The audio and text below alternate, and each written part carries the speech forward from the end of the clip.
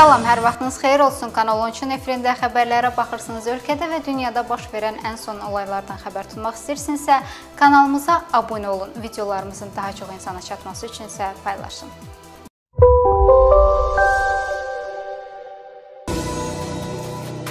Azərbaycan Respublikasının prezidenti İlham Əliyev aprelin 9-da Rusiya Federasiyasının baş prokuroru Igor Krasnovu qəbul edib. Görüşdə Azərbaycan Respublikası ilə Rusiya Federasiyası arasında ikitərəfli münasibətlərin müxtəlif sahələrdə uğurla inkişaf etdiyi qeyd olunub. Bildirilib ki, ölkələrimizin prokurorluq orqanları arasında həyata keçirilən qarşılıqlı faydalı əməkdaşlıq əlaqələrimizin genişlənməsi işinə töhfə verməklə bərabər ölkələrimiz qarşısında duran təhdidlər, müasir çağırışlar cinayətkarlığa qarşı mübarizə işində mühüm rol oynayır. Söhbət zamanı əməkdaşlığımızın bundan sonra da genişlənəcəyinə əminlik ifadə olunub. Perspektiv məsələlər müzakirə edilib.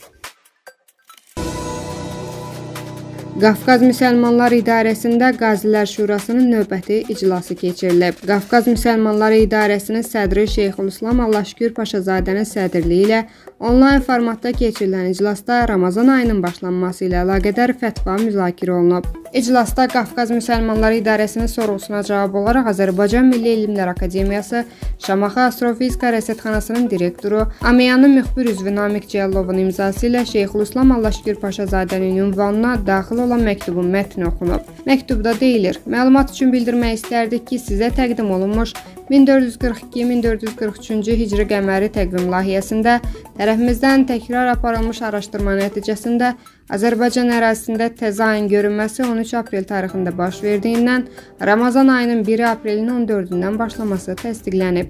Odur ki, 14 aprel tarixini Ramazan ayının 1-ci günü kimi qəbul etmənizi ali diqqətinizə çatdırıram. Bu il üfüqümüzdə hilalın aprelin 13-ü şam namazı ərəfəsində görünəcəyinə görə Ramazan ayının 1-i miladi təqvimlə 14 aprel 2021-ci il tarixinə təsadüf edəcək. Son günlər bir sıra vətəndaşlar açıq havada maska taxmaq qərarının ləğvi üçün sosial şəbəkələrdə aksiya başlayıb. Nəfəs alaq hashtagı ilə həyata keçirilən sosial aksiyada insanlar parklarda, küçələrdə, yürüşlərdə tibbi maskadan istifadənin məcburi olması haqqında qadağanın ləğv edilməsini istəyir. Sosial şəbəkədə başladılan aksiyanın geniş miqyaslı olmasını nəzərə alaraq, yay fəslində maska qadağasının ləğv edilmə ehtimalı böyük maraqla gözlənilir. Mövcud məsələ ilə bağlı Milli Məclisin Səhiyyə Komitəsinin sədrinin müavini Rəşad Mahmudov bildirib ki, açıq hava və parklarda gəzərkən kütləvilik olmadığı yerlərdə eləcə də məsafənin qorunması ilə birlikdə maskanın istifadəsi ilə bağlı məsələyə yaxın gələcəkdə aidiyyatlı qurumlar eləcə də qanunvericilik bazasında baxılacaq. Yay aylarında xüsusən indi başlamış olan dalğanın sönməsindən və epidemioloji vəziyyət də imkan verdikdən sonra gələcəkdə bu və digər karantin rejimlərində yeni-yeni yumşalmalara nail olacağıq.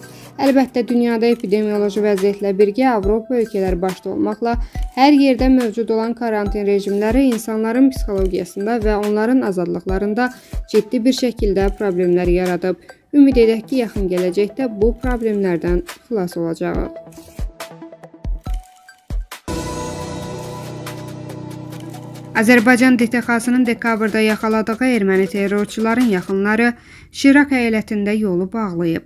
Axaraz erməni mediasına istinadla xəbər verir ki, aksiyaçılar Gümrü İrəvan o cümlədən Aşotsk və Vanadzor yolunu bloklayıblar. Onlar bildiriblər ki, tələbləri birdir, doğmalarının geri qaytarılması. Qeyd edək ki, 10 noyabr bəyanatından sonra Şirakdan Azərbaycanın Qarabağ bölgəsinə gələn erməni silahlıları DTX-nın antiterror əməliyyatı nəticəsində ələ keçirilib. Xatırladaq ki, ötən gün Rus sülh məramlarının rəhbəri Rüstəm Muradovun Azərbaycandan Ermənistanın hərbi əsir, Azərbaycanın isə qanunsuz silahlı birləşmə üzvü və terrorçu saydığı şəxslərdən bəzilərini özü ilə Bakıdan aparacağı barədə məlumat yayılmışdı.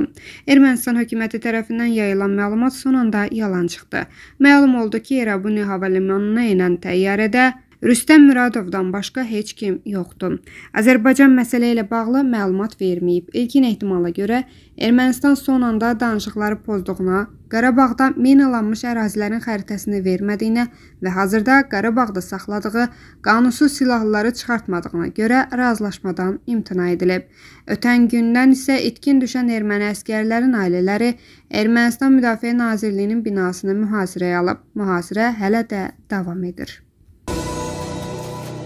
Əsirlər məsələsinə erməni politoloq Aleksandr İskəndəryan da öz fikirlərini bildirib. Güman edirəm ki, əsirlərin qarşılığında Əliyev Paşinyandan mehri vasitəsilə dəhliz istəyir. Axaras xəbər verir ki, o bu gün baş verənlərin asimetrik danışıqların nəticəsi olduğunu bildirib. Tərəflərdən birinin əlində digərinə təzyiq yaradacaq riçaq yoxdur. Belə olan halda nəyə ümid etmək lazımdır? Ürək yumşaqlığa? İlham Əliyevin əsirləri geri qaytarmaq üçün heç bir səbəbi yoxdur. Maksimum bir neçə hərbiçinin qayıdacağına ümid etmək lazımdır. Onun sözlərinə görə seçkiyə qədər mehri vasitəsilə dəhlizlə bağlı danışıqlar hazırki hakimiyyət üçün çox ciddi bir şey deyil. Hazırda söhbət Türkiyə və Azərbaycanın tələbindən gedir. Bu təmiz siyasi layihədir.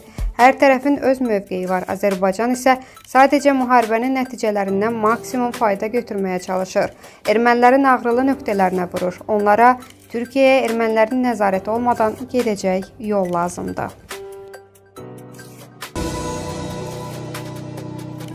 Ermənistan gərək Türkiyə ilə münasibətlərin yoluna qoyulması üçün danışıqlar aparsın. Bunu jurnalistlər açıqlamasında Ermənistan parlamentinin Müdafiə və Təhlükəsizlik Komitəsinin rəhbəri Andranik Koçeryan deyib.